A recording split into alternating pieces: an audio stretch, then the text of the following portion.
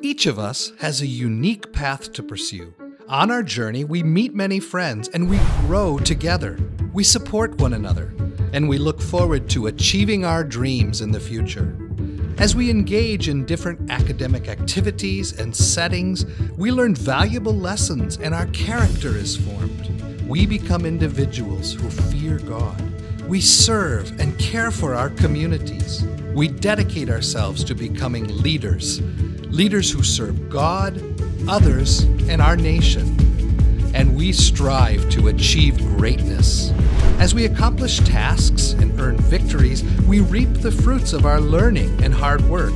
We each realize our dreams on different paths, transforming from ordinary learners into extraordinary future leaders. Now is the time for us to step forward and bring about change as leaders.